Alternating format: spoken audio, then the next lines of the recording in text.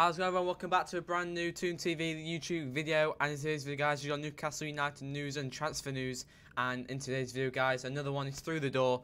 It was Anthony Gordon yesterday and now it's Harrison Ashby today.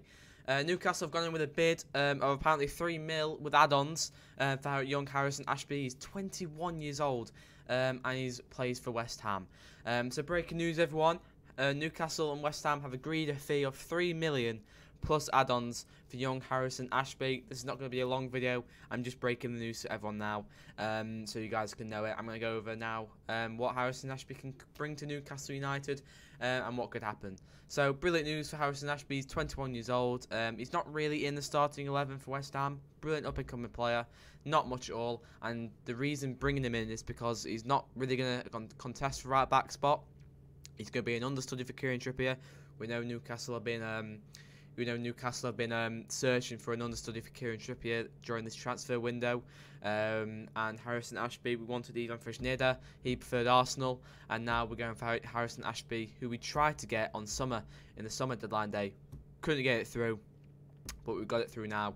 With literally a few, literally a few days left, which we've literally 48 hours left of the window. Um, so it's good Newcastle buying another player, a good player that can uh, go into the squad, uh, learn from Kieran Trippier as well. There, there, is, there is that as well. Not only will he will he um, be an understudy, un, understudy for Trippier, he will also learn from Trippier as well. A world class right back learning, um, teaching a 21 year old the uh, the trades of a right back, and then when Trippier's time is done at Newcastle United, um, Ashby will have all that experience, all that learning behind him that he's learnt from Trippier, they can bring into the starting eleven and be a starting eleven prospect um, from on uh, from for the future onwards. But you guys can let me know your thoughts on that transfer down below. I think it's a good transfer, good for the future as well, but good for now that we're bringing some squad depth in and we can kick some of the deadwood out and bring some good players into the bench as well that can come on. And you might even he, he might even um, play on Tuesday. I, am not sure if he's cup tied. We know Gordon's cup tied, but Harrison Ashby's I don't think is cup tied. I am not sure. Um, but we'll have to see if he starts Tuesday or if he even plays Tuesday.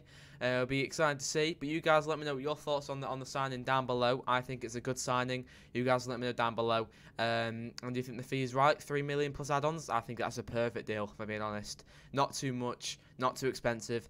And now all we need is um, a James Maddison through the door. There's plenty of time left, but fingers crossed uh, Maddison could still be on the cards. Uh, but thank you guys for watching as always. Uh, thank you for your support um, recently. Um, there'll be another video um, on the channel when Harrison Ashby gets um, announced or um, like I did yesterday with Gordon. Um, there'll be a video up for that later on, uh, probably tomorrow when it gets announced. But thank you guys for watching the video as always. It really does mean a lot. And I'll see you later today for the preview. Bye bye for now, guys.